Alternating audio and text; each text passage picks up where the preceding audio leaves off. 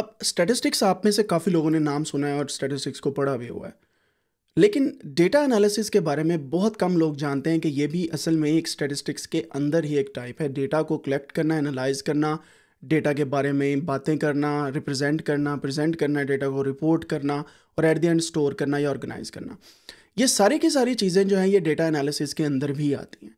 जब आप data analyse कर रहे होते हैं या एनालाइज करने के लिए बैठते हैं you think about many things in in in data analysis अब डेटा एनालिसिस की भी कुछ टाइप्स होती हैं, हम उसको भी देखेंगे और साथ में ये भी देखेंगे कि डेटा एनालिसिस होता क्या है। So let's see in my screen और यहाँ पे आप देख सकते हैं कि data analysis is a crucial process in transforming raw data into meaningful insights यानी कि अगर मैं यहाँ पे इसकी डेफिनेशन लिखूँ डेटा एनालिसिस की डेटा एनालिसिस ये एक प्रोसेस है। प्रोसेस एक प्रोसेस है ये, ठीक है? किस चीज़ का प्रोसेस है वो देखते हैं। इन ट्रांसफॉर्मिंग रॉ डेटा यानी कि जो आपने डेटा कलेक्ट किया है रॉ डेटा इसको ट्रांसफॉर्म करेंगे आप किस चीज़ के अंदर? Into meaningful insights meaningful insights यानी कि आप रॉ डेटा को उससे कोई इंफॉर्मेशन निकालने के लिए प्रोसेस करते हैं, ठीक है? और इस चीज़ को हम बोलते हैं डेटा एनालिसिस यानी कि डेटा एनालिसिस का मेन मतलब ये है कि जो डेटा आपने कलेक्ट कर लिया है ना कलेक्टेड डेटा के ऊपर, आप कोई भी प्रोसेस लगाएँ और मीनिंगफुल इंसाइट निकल आएँ then this will be called as data analysis अब होता क्या है कि कई टाइप हैं डेटा एनालिसिस की। टाइप्स की अगर बात की जाए तो डेटा एनालिसिस की कई टाइप्स हैं। एक ऐसी टाइप है जो इसी डेटा के बारे में थोड़ी बहुत इन्फॉर्मेशन दे देती है। एक ऐसी टाइप है जो इसी डेटा को और भी बढ़ा चढ़ा के बताती है। एक ऐसी टाइप है जो इसको प्रेजेंट करने में हमें हेल्प आउट करती है। And there are many other types as well तो उन टाइप्स को हम देखते हैं और ये देखते हैं कि वो जो टाइप्स हैं वो कहाँ कहाँ पे यूज़ होंगी और क्यों हमें उन टाइप्स को पढ़ना ज़रूरी है। ठीक है? अब इन एट टाइप्स को मैं यहाँ पे आपके सामने लिखता हूँ और इसको बारी बारी हम देखेंगे। नंबर वन जो पहली टाइप है हमारे पास that is called number one is called descriptive analysis descriptive data analysis data analysis इसका मतलब ही ये है कि आपने डेटा की समरी करनी है डेटा के फीचर्स को देखना है और डिफरेंट किस्म की डेटा की इंफॉर्मेशन लेनी है, ठीक है? तो डिस्क्रिप्टिव नंबर टू इज़ मैं यहाँ पे लिखता हूँ। Number two is called diagnostic analysis diagnostic data analysis diagnostic क्या होता है? आप थोड़ा सा डिग डीप करते हैं और कॉज या ऑब्ज़र्व करते हैं डिफरेंट किस्म के पैटर्न पैटर्न्स को, ठीक है? डायग्नोस्टिक एनालिसिस के अंदर आप डिफरेंट किस्म के पैटर्न्स या डिफरेंट किस्म की जो आपको लगता है इनसाइट्स निकल सकती है, उनको और अच्छे से कॉजल रिलेशनशिप वगैरह देखते हैं। फिर नंबर थर्ड जो है हमारे पास that is called predictive analysis predictive data analysis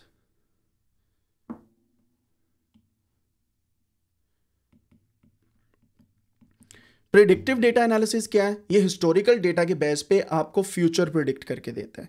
यानी कि मशीन लर्निंग डीप लर्निंग सब कुछ इसके अंदर आएगा। नंबर फोर इज़ आपके पास जो नंबर फोर है, वो बेसिकली तो टाइप ऑफ़ डेटा एनालिसिस ये है जो डिस्क्रिप्टिव के अंदर आ जाती है बट हम इसको सेकंड टाइप में भी देखते हैं, जिसको हम बोलते हैं ईडीए e या एक्सप्लोरेटरी डेटा एनालिसिस लेकिन उससे भी पहले मैं एक और लिखना चाहूँगा जो ज़्यादातर यूज़ होते हैं descriptive diagnostic predictive and prescriptive prescriptive prescriptive क्या होता है कि आप बेसिकली रिकमेंड करते हैं ऑन द प्रोडिक्शन के क्या करना चाहिए। ठीक है? मिसाल के तौर पे मैंने डेटा निकाला कि पाकिस्तान के अंदर कितने लोगों को सर दर्द है। ठीक है? देन मैंने डायग्नोज किया कि वजह क्या है सर दर्द की। वजह निकालने के बाद मैंने प्रिडिक्ट किया कि फ्यूचर में कितने लोगों को होगी। ठीक है? फ्यूचर में कितने लोगों को सर दर्द हो सकती है। उसके बाद मैंने बोला कि प्रिस्क्राइब किया based on my result Disprin जो है, वो आप बनाएँ, ये ज़्यादा सेल होगी ठीक है? So these are kind of analysis जो आप करते हैं। ये चार इंपॉर्टेंट है। इसके अलावा जो अगले हैं, उनको मैं बारी बारी लिखता हूँ। Number five is called E यानी कि exploratory data analysis exploratory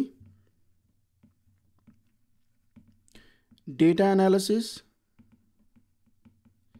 number fifth sorry number six is number six जो है आपके पास, ये बेसिकली इन्फ्रेंशियल एनालिसिस होता है।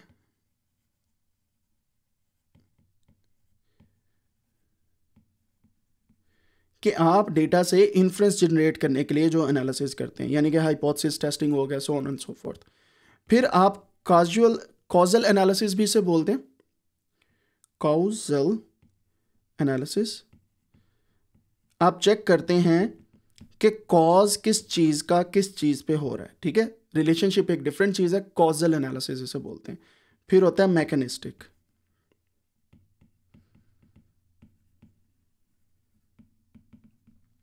सो so, अब ये जो लास्ट वाला है मैकेनिस्टिक इसमें आप स्पेशल मैकेनिज्म चेक करते हैं ऑफ़ ईच वेरिएबल और ये थोड़ा सा इंपॉर्टेंट भी होता है एज कंपेयर टू अदर अब आपके पास ये चार टाइप हैं डेटा एनालिसिस की, जिसके अंदर डेटा को डिस्क्रिप्टिव में भी देखते हैं डायग्नोस्टिक में भी प्रिडिक्टिव में भी एंड प्रिस्क्रिप्टिव में भी. सेकंड आपके पास आता है exploratory inferential causal and mechanistic ये सारी की सारी डेटा टाइप्स कैसे काम करती हैं और क्यों काम करती हैं, अब इसको बारी बारी देखते हैं, ठीक है? अब इसके लिए जो स्ट्रेटजी हम यूज़ करेंगे इसको स्टडी करने के लिए that is a bit different strategy और let's see just a minute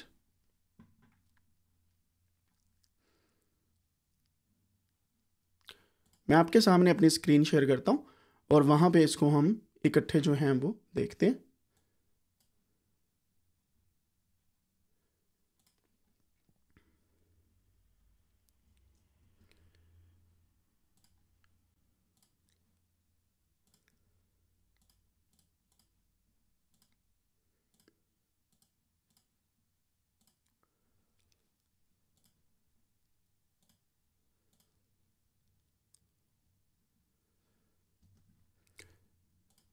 सो ये कोडेनिक्स डॉट कॉम के ऊपर ये वाला ब्लॉग जो है आपको मिल जाएगा। अगर आप कोडेनिक्स डॉट कॉम पर जाएँगे तो ऊपर ही स्टेटिस्टिक्स के अंदर डे फोर के अंदर आपको ये data analysis and types of data जो है वो वहाँ पे नज़र आ जाएगा। यहाँ पे ये डेटा एनालिसिस के ऊपर मैंने ईच एंड एवरीथिंग जो हमारे पास समझने के लिए ज़रूरी हैं, वो मैंने यहाँ पे डिस्क्राइब की हुई हैं। टाइप कौन कौन सी हैं, ये आठ के आठ टाइप्स मैंने यहाँ पे बताई हैं। एंड देन डिस्क्रिप्टिव एनालिसिस के ऊपर बात करते हैं और इसको हम यहाँ पे देखते हैं। डिस्क्रिप्टिव एनालिसिस क्या होता है? ये फोकस इसका किस चीज़ पे होता है? ये समराइज करता है एंड डिस्क्राइब करता है the main features of a data set features होते हैं हमारे पास जो हमारे कॉलम्स हैं। ये उनको डिस्क्राइब करता है। यानी कि बेसिक जितनी भी हम एनालिसिस करने से पहले इंफॉर्मेशन लेते हैं, वो डिस्क्रिप्टिव एनालिसिस में होती है। इसका यूज़ क्या है? Use to provide an overview of the data such as sales number over the time और द एवरेज और कस्टमाइज सेटिंग जो भी हम कस्टमर सेटिंग सॉरी जो भी हम करते हैं। इसके लिए mean median mode standard deviation data visualization method like bar chart और हिस्टोग्राम को हम यूटिलाइज करते हैं। अब एग्ज़ाम्पल इसकी ये है कि एक रिटेल स्टोर वाला है जो कलेक्ट कर रहा है data on its monthly sales ठीक है? महीने की सेल्स का डेटा कलेक्ट करता है ओवर पास्ट ईयर हर महीने की सेल का एक साल से डेटा कलेक्ट कर रहा है।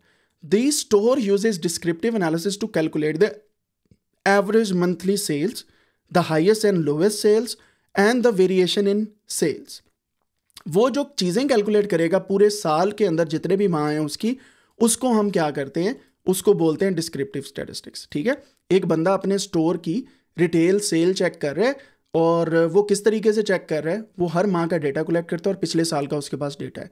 उसके बारे में एवरेज और बाकी चीज़ों को बताना डिस्क्रिप्टिव स्टेटिस्टिक्स डायग्नोस्टिक क्या है? ये डिटरमिन करता है cause of trends of a problem identified in descriptive statistics या एनालिसिस जो पीछे आपके पास ट्रेंड बने हैं, ये उनको फर्दर डिस्क्राइब करेगा और फर्दर डायग्नोज करेगा. और ये क्या करता है? ये चेक करता है कि why did sale drop in particular quarter क्यों कम हुई? ये डब्ल्यू एच क्वेश्चन को वजूहत को देखता है. दलाइल पीछे आ गए सॉरी जो आपके पास मेन क्या उसे बोलते हैं? यार, वो क्या होता है? मेन जो आपके पास आउटपुट है, वो पीछे आ गई है। यहाँ पे आप उसको डीपली चेक करते हैं। कौन कौन से फैक्टर्स कॉज कर रहे हैं और क्या हो रहा है? टेक्निक्स कौन सी आप drill down data mining correlation causal effects analysis and some kind of other techniques आप यूज़ करते हैं to find out the causes ठीक है? और the same retail store notice a significant drop in sales in July using the diagnostic analysis they examine various factors like marketing campaign competitor actions and customer feedback from that period they discover that a new competitor had launched a major discount campaign in July जिसकी वजह से उनकी cell कम हुई है same वही चीज़ है कि आपका वही रिटेल स्टोर वाला डेटा को एनालाइज कर रहा है लेकिन उसकी जुलाई के अंदर जो ड्रॉप हुई है वो उसकी इम्पैक्ट चेक कर रहा था तो डायग्नोस्टिक एनालिसिस के अंदर उन्होंने चेक किया कि यार एक और स्टोर खुल गया जिसने डिस्काउंट बड़ा हैवी दिया था, जिसकी वजह से लोग हमारे पास नहीं आए, वहीं से परचेज स्टार्ट कर दी। प्रिडिक्टिव एनालिसिस क्या होता है? ये हिस्टोरिकल डेटा को देखता है फ्यूचर इवेंट्स को प्रोडिक्ट करता है। Often employed in fields like finance marketing forecasting and trend customer behaviour या पोटेंशियल रिस्क के ऊपर। अब इसके अंदर regression analysis forecasting multivariate statistics pattern recognition and machine learning algorithm use होते हैं। अब वही ऑनलाइन स्ट्रीमिंग सर्विसेज़ जो आप यूज़ कर रहे थे पास्ट व्यूवरशिप की बेस पे, उनका डेटा प्रेडिक्ट करता है कि फ्यूचर में कितने लोग होंगे, ठीक है? By applying regression analysis machine learning algorithm to historical data they can forecast which genre of movies और series will be more popular in upcoming months ठीक है? और ये उसकी बेस पे नेटफ्लिक्स वाले या डिफरेंट किस्म के जो स्ट्रीमिंग सर्विसेज़ वाले हैं, वो इन्वेस्ट करते हैं। मिसाल के तौर पे रिसेंटली एक मूवी आई है, जिसके अंदर द ट्रेन मैन मेरे ख्याल से करके है वो। और भोपाल का जो सानिया हुआ था केमिकल गैस लीक हुई थी इंडिया के अंदर, उसके बारे में वो एक नेटफ्लिक्स की सीरीज़ है। और आप देखते हैं कि अगर आप वैसी सीरीज़ देखते हैं, उसकी बेस पे वो अंदाज़ा लगाते हैं कि कौन सी हिट जा रही है, क्यों बनानी चाहिए। जैसे स्क्विड गेम एक सीरीज़ आई थी नेटफ्लिक्स के ऊपर, वो स्क्विड गेम पहले चली, अब उसका एक रियलिटी शो आ गया। इसी तरीके से कुछ और भी एग्ज़ाम्पल मैं आपको बताना चाहूँगा कि स्ट्रीमिंग सर्विसेज़ लाइक स्पॉटिफाई वो वहाँ से अंदाज़ा लगा लेते हैं कि ज़्यादातर लोग किस जॉनरा का म्यूज़िक सुन रहे हैं। और उस जॉनरा के अंदर वो और भी इन्वेस्ट करते हैं कि फॉर एग्जांपल अगर कोक स्टूडियो के तरह के गाने ज़्यादा हिट हो रहे हैं तो वो आर्टिस्ट ही वैसे लेते हैं जो उस जॉनरा के अंदर आते हैं, ठीक है? अगर रैप म्यूज़िक ज़्यादा हिट जा रहा है तो वो रैप पे ज़्यादा इन्वेस्ट करते हैं। So these kind of streaming services are using machine learning algorithm और प्रोडिक्टिव एनालिसिस जितनी भी प्रोडिक्शन होती है, वो इसकी बेस पे होती है। प्रिस्क्रिप्टिव एनालिसिस प्रिस्क्रिप्टिव एनालिसिस क्या होता है? ये क्या कहता है? Suggest a course of action and likely outcome of each action ठीक है? ये स्ट्रेटेजिक प्लानिंग के अंदर डिसीज़न मेकिंग के अंदर determining the best marketing skills और ये सारा इसमें यूज़ होता है। टेक्निक्स इसके अंदर simulation sorry for that streaming के अंदर सॉरी सिमुलेशन के अंदर ऑप्टिमाइजेशन के अंदर डिसीज़न मेकिंग के अंदर एंड डिफरेंट किस्म के रिकमेंडेशन सिस्टम्स के अंदर ये यूज़ होती है। और लॉजिस्टिक कंपनीज़ भी इनको एम्प्लॉय कर सकती हैं। इसकी एक एग्जांपल मैं आपको बड़ी हैवी किस्म की दूँगा। रिसेंटली सैम अल्तमैन जो ओपन एआई का सी है, उसे उतार दिया गया था बोर्ड ऑफ़ डायरेक्टर्स की मीटिंग के अंदर। लेकिन हुआ क्या? उन्होंने प्रिस्क्रिप्शन ये दी कि इसको उतारें, किसी और को बनाएँ, ताकि हमारी कंपनी और ग्रो करे, क्योंकि सैम अल्तमैन सही तरीके से हमें जो डेटा के बारे में इंफॉर्मेशन नहीं दे रहा। यानी कि वो बिल्कुल ट्रांसपेरेंट नहीं रख रहा चीज़ों को, वो खुद से अपनी मर्ज़ी से बड़े डिसीज़न ले रहा है समथिंग लाइक दैट हैपन तो उन्होंने उसे उतार दिया। लेकिन हुआ क्या? उनकी प्रिस्क्रिप्शन जो है, वो नाकाम साबित हुई। हुआ फिर ये कि कंपनी के कई लोगों ने एहतजाज किया किस्म का और उन्होंने बोला कि हम भी छोड़ के जा रहे हैं। तो उन्होंने फिर दोबारा से सैम अल्तमैन को वापस ले लिया, जो ओपन एआई को सीईओ है, जिसने चैट जीपीटी जो है, वो बनाई है जिस कंपनी ने उसका सीईओ है। डाली टू जो है, वो भी उन्होंने बनाई है, DALL-E one and DALL-E two. So these kind of analysis can help you कि क्या हो रहा है। ईडीए के बारे में मैंने आपको पहले बता दिया एक्सप्लोर करना डेटा को आप यहाँ पे पढ़ भी सकते हैं। इन्फ्रेंशियल स्टेटिस्टिक्स के बारे में भी मैंने आपको बता दिया है कि ANOVA hypothesis testing and there are many other test जो आप इसके अंदर करते हैं। कॉजल एनालिसिस के अंदर आप क्या करते हैं? Randomized control design causal statistical methods को यूज़ करते हैं। एंड देन मैकेनिस्टिक एनालिसिस के लिए आप चेक करते हैं कि किस चीज़ का मैकेनिज़्म जो है वो हम चेक कर सकते हैं बेस्ड ऑन द फीचर्स जो ज़्यादा इंपॉर्टेंट है। तो ये सारी की सारी चीज़ें हम आगे पढ़ेंगे। अब टू मेन टाइप जो डिस्क्रिप्टिव एंड इन्फ्रेंशियल की हैं, वो भी मैंने बताई हैं। और डेटा साइंस के अंदर, या सॉरी डेटा एनालिसिस और स्टैटिस्टिक्स की टाइप्स थोड़ी मिलती जुलती भी आपने देखा होगा। इन्फ्रेंशियल एनालिसिस भी आ रहा है एक्सप्लोरेटरी डेटा एनालिसिस भी आ रहा है, और prescriptive descriptive predictive and diagnostic भी आ रहा है। तो ये सारी की सारी चीज़ें आपको डेटा एनालिसिस की टाइप में भी मिलेंगी स्टेटिस्टिक्स की भी टाइप में मिलेंगी। और यहाँ पे मैंने इसको बड़ी डिटेल में बताया कि क्या इन दोनों में फ़र्क है और कौन कौन सी सिमिलैरिटीज़ हैं। तो आप यहाँ से देख सकते हैं एंड देन अगर आप इसको देखने के बाद डायरेक्टली पॉपुलेशन वर्सेस सैंपल वाले आर्टिकल के ऊपर क्लिक करेंगे देन यू विल फाइंड कि आपको पॉपुलेशन और सैंपल के बारे में भी अच्छी खासी इन्फॉर्मेशन यहाँ पे दी गई है which is very crucial for our upcoming lecture तो आप इसे भी ज़रूर पढ़िएगा। रीज़न ये है कि अगर आपको पॉपुलेशन का पता हो, क्या होती है और सैंपल का पता हो देन आपके लिए आसान हो जाता है चीज़ों को समझना। तो ये आपका, आप समझ लें होमवर्क है कि आपने पॉपुलेशन और सैंपल के बारे में ये वाला आर्टिकल जो है रीड आउट करना है। इसी के साथ जो है, मैं ये लेक्चर स्टॉप करता हूँ। अगर आपके पास कोई नई चीज़ है, जितनी एग्जांपल्स मैंने दी हैं इसके अलावा तो प्लीज़ कमेंट सेक्शन में ज़रूर लिखें और होपफुली अभी तक जितना हमने पढ़ा है स्टैटिस्टिक्स का, वो आपको समझ आई होगी।